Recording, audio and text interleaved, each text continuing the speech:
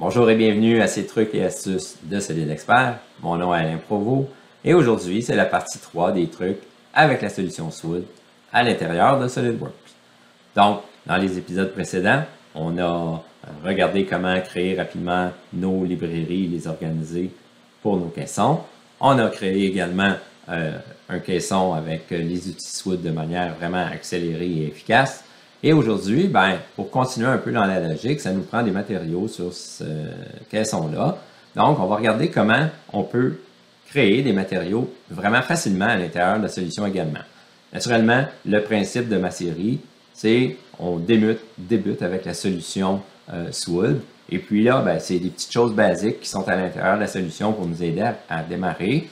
Moi, je vous montre comment justement euh, bonifier vos librairies à l'intérieur de cette solution. Donc, on regarde dans SolidWorks comment ça se passe. Et c'est le caisson qu'on avait euh, réalisé dans le dernier épisode. Alors, ici, dans l'onglet des matériaux, ben, moi, j'ai déjà ajouté euh, un dossier pour mes librairies à moi. Comme vous pouvez voir, j'ai plusieurs types de matériaux qui sont possibles à l'intérieur de la librairie. Naturellement, je pourrais ajouter, par exemple, un matériau à la fois à l'intérieur de ma librairie si euh, c'est juste un qui me manque pour pouvoir travailler. Mais dans la solution, j'aimerais pouvoir euh, justement mieux utiliser la, librairie et la remplir rapidement. Alors, ce qu'on peut faire, on peut, grâce à un simple clic droit ici, venir éditer dans la base de données de la librairie ça, ben, ça me permet de rapidement créer justement les matériaux que j'aurais besoin. Alors, si je vais dans mon onglet ici, par exemple, dans mes plaquages de mélamine, on va voir que j'ai trois matériaux qui sont disponibles. Donc, j'ai de la mélamine grise 19 mm, j'en ai également une 16 mm pour la grise, et dans la blanche, ben, j'ai une 16 mm. Peut-être qu'il me manque encore des formats à l'intérieur de celle-ci, donc, rapidement, ce qu'on va faire, par exemple, je vais simplement cliquer. Là, vous voyez, toutes les informations sont là sur mon matériau.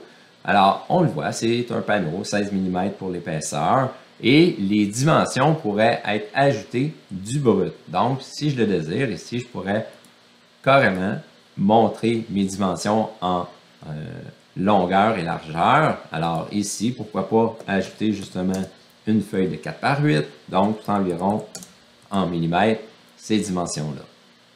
Alors, ici, j'ai corrigé ma 16 mm ici euh, blanche. Et maintenant, j'en veux deux autres formats de celle-là. Donc, ce que je vais faire, je vais faire une copie.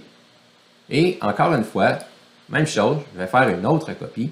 Et de cette manière, je vais pouvoir éditer mes deux nouvelles copies rapidement pour pouvoir obtenir justement peut-être les formats qui me manquaient. Donc ici, tout ce que j'ai à faire, c'est venir corriger l'entête de ce format-là. Donc ici, moi, je n'avais pas 19 mm, donc je vais mettre 19 dans mon titre.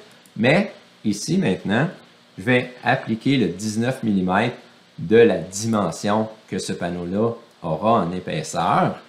Et la prochaine, ben, euh, peut-être que je voudrais avoir euh, un pouce ici pour celle-ci.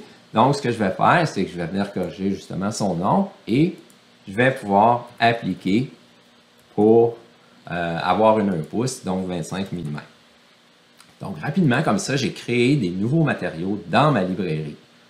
Donc, on fait ça dans notre librairie, on la sauvegarde et puis, rapidement, on va se ramasser avec justement nos matériaux qui sont déjà prêts à utiliser dans la solution.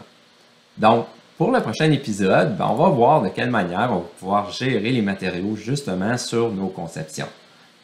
Euh, c'est à ne pas rater. Donc, je vous invite pour mon prochain épisode. Sur ce, je vous dis à bientôt.